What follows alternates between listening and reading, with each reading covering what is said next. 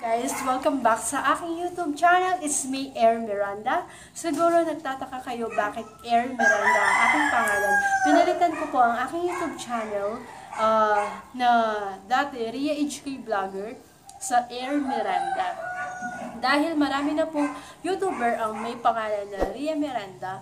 Uh, so, nag-decide ako guys na Air Miranda na lang po ang aking ipangalan sa aking YouTube channel para unique at madaling matandaan. Uh, pero you can call me Ria. Um, pasensya na pala kayo guys kung uh, medyo bulol po akong magsalita kasi pinatanggal ko na po yung braces ko at ngayon naka-retainer yung ngipin ko. Hindi pa po ako sanay magsalita na gamit yung retainer kaya ngayon medyo bulol po yung aking pagsasalita at medyo nanibago yung boses ko. Uh, pagpasensya nyo na guys sa oras na ito. Uh, sa video pa lang ito ay isi-share ko sa inyo yung about sa OWA Balik uh, Pinas Balik Hanap Buhay Program. Uh, ano nga ba guys yung OWA? OWA is isa siya sa mga binabayaran natin pag tayo ay nagpupunta ng abroad. Isa siyang insurance. Uh, pag may mangyaring masama sa atin sa abroad, For example, uh, namatay tayo, meron tayong makukuwang uh, benefits from OWA. Ngayon guys, uh, i-share ko po sa inyo sa video ito yung uh, program nila about uh, 20,000 rebate program na hanap buhay program ng OWA. Guys, meron po tayong dalawang uri ng OWA membership. Ang isa is OWA Active Member at ang isa is OWA Inactive Member. Ano nga po ba ang ibig sabihin ng OWA Active Member? Ang OWA Active Member is yung mga manggagawa na nakahulog na ng 5 times sa kanilang OWA uh, membership. Ay, ibig sabihin po ng 5 times is equivalent to 10 years. Uh, kasi every 2 years, uh, naguhulog tayo sa OWA. Uh, kada renew natin sa ating mga amo, uh, hinuhulugan niya ng ating mga amo ng ang ating mga OWA membership. Uh, yung inactive membership naman guys is yung mga uh, OFW na bago pa lang na nakahulog pa lang ng isang beses, dalawa, tatlo at apat. Uh, meron din yung uh, corresponding value kung magkano ang makukuha nila pag inactive membership. Ang active membership naman guys is automatic yan. Uh, pag naka 5 times above ka nahulog sa OWA is makukuha mo is 20,000 pesos na pangkabuhayan. Uh, ibibigay nila yung puhunan na yon na 20,000 pesos sa mga uh, nakahulog na ng 10 years above sa kanilang OWA members. Uh, ang inactive uh, membership naman, uh, pag nakaisang hulog ka or dalawa, meron din silang 5,000 na makukuha. Pag 3 to 4 uh, times ng nakahulog, 10,000 pesos po. Ano naman guys yung mga qualification, uh, yung mga uh, requirements nila para ma-avail yung OWA Balik Pinas Balik Manggagawa Program. Ipapakita ko po sa inyo ngayon kung ano yung mga requirements nila uh, para ma-avail yung OWA Balik Pinas Balik uh, Hanap Buhay Program. Um, based po sa aking experience uh, na pinapasa nila, uh, ibibigay ko po sa inyo yung some ideas ngayon at ipapakita ko po sa inyo. Noong December 10, pumunta ako sa OWA. Uh, umuwi ako ng Pilipinas noong December 3. Uh, and then, December 10, pumunta ako agad ng OWA. Uh, pinabalik nila ako ng January 6 for seminar. Ito yung pinapadala nila, guys. Uh, Nag-seminar na kami noong January 6. Uh, ito yung pinapadala nila na requirements. 2x2 picture, 1 piece, original passport travel document, ball pen and pencil, sketch of business location, salaysay, proof of distress. Tapos yan, dyan nila lalagay uh, kung active or inactive member ka ng OWA. Uh, bali, nagpunta ako sa OWA sa pinakamalapit dito sa amin dahil taga Pampanga ko. Yung OWA is nasa San Fernando, Pampanga. it's good to say na malapit lang ako dito sa San Fernando kasi yung mga ibang nakasabay ko na nag-seminar, taga Bataan pa sila, taga Olongapo, Sambales. Uh, so, I'm so thankful kasi uh, malapit lang ako, taga Arayat lang ako, tsaka Porac. Kaya, uh, thankful talaga ako kasi malapit lang ako dito sa San Fernando, Pampanga.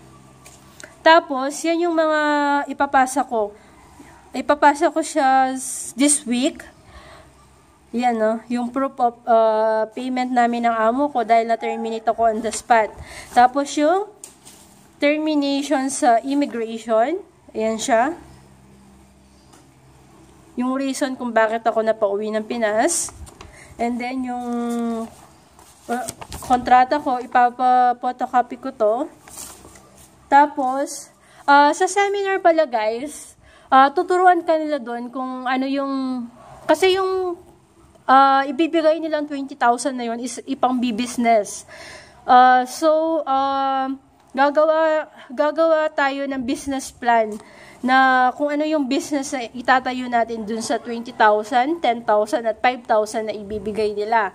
Uh, napili kong business is yan, bigasan. Tapos nilagay ko yung place, kung saan ko itatayo yung negosyo ko. Basta yan, tuturuan nila kayo kung ano yung mga ilalagay at ipipil up. Kasi magsi-seminar naman dyan. Magsi-seminar naman, may schedule of seminar. Uh, tuturuan nila tayo paano gagawa ng business plan. Tapos, ilalagay pa yan, i-sketch pa yung kung saan yung location. Kasi isi-CI daw nila yan kung totoong magbi-business ka. Ayan, no? Yan nilagay ko. Tapos, syempre, kailangan din yung mga travel documents, yung mga passport, kung kailan yung departure, kung kailan ka uling umalis ng bansa. Kailangan yan. Yan. Yung last visa mo. Yan yung mga kailangan. Uh, this week, guys, babalik ako sa OWA kasi uh, para nga dun sa business plan. Una yun yung sinulat ko sa ano na ukay-ukay kaso maraming requirements kasi uh, mag-inventory ka pa kung ano yung mga ilalagay. Ilalagay mo sa uh, ukay-ukay mo or tiyangge. I-inventory mo yun isa-isa. Kunyari, uh, baso, kutsara, tinidor, lalagay mo yung mga price. E sa ukay-ukay, maraming, maraming paninda, di ba? Kaya pinalitan ko siya ng bigasan. Binigyan naman kami ng form ng OWA, pinapotocopy namin, tapos pwede kaming gumawa at palitan. Yan, kailangan pa yung mga oportunidad at hadlang sa pagninegosyo. Kailangan syempre mura yung paninda mo. Uh, kung, na, kung bago ka lang sa negosyo, syempre dapat uh, huwag mong mahalan para ang mga customers sa'yo bibili, di ba? Tapos nagbibigay ka rin ng discount. Yan siya pinalitan ko. So, yun guys, pag nagpunta po tayo ng OWA at magkiklaim ng ating balik magagawa, uh, hanap buhay, hindi naman natin agad makukuha yan. Meron corresponding time para i-process nila yung mga papers. Sabi ng iba, it took 2 uh, to 3 months bago makuha yung uh, 20,000 na pangkabuha, pangkabuhayan na ibibigay nila uh, dun sa seminar na ginawa namin noong January 6, pinaliwanag nila doon kung ano ba yung OWA, yung mga benefits niya. Uh, actually, maganda yung benefits ng OWA.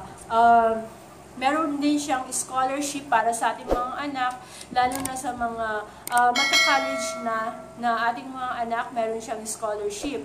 Uh, kahit uh, hindi ka magpo-for good or babalik ka ng ibang bansa basta naka uh, 10 years ka na sa paghuhulag sa OWA, uh, ibibigay daw nila yung 20,000 na yon. Uh, sabi ko kasi sa OWA na babalik pa ako dahil nagkaroon nga ako ng amo. Uh, sabi nila basta iwan ko daw yung aking bank account at doon nila i-deposit yung 20,000 pesos in case na nasa abroad na ako. So, yun lang guys for today. Uh, naway may natutunan po kayo sa aking videos at sa mga kababayan kong uh, nawalan ng trabaho, na terminate at nag-break contract, na pauwi ng hindi oras, uh, pwede kayong lumapit sa OWA guys uh, para i-claim yung uh, balik uh, hanap buhay, ay balik Pinas, balik hanap buhay program nila. Uh, malaking tulong din yun para sa atin, lalo na kung uh, gusto nating mag-start ng negosyo at mag-stay na lang sa Pinas, di ba? Uh, so yun guys, sa mga gusto mag-claim, uh, punta lang po kayo sa pinakamalapit na OWA sa inyong bayan at uh, i-claim nyo po agad. Pagka uwi nyo, uh, punta kayo agad at uh, magtanong uh, about the kung ano yung process nila para agad pong ma-aprobahan uh, ang yung um, requirements. Bigyan ko po kayo ng update kung ilang buwan bago ko natanggap yung uh, 20,000 pesos. Ia-update ko po sa inyo dito sa YouTube uh, kung gaano katagal yung process bago ko matanggap yung rebate na 20,000 pesos. Guys, thank you for watching. And don't forget to hit the bell so that you'll be updated to all the videos we will uploaded. Uh, God bless. Thank you. Bye-bye. Chup chup.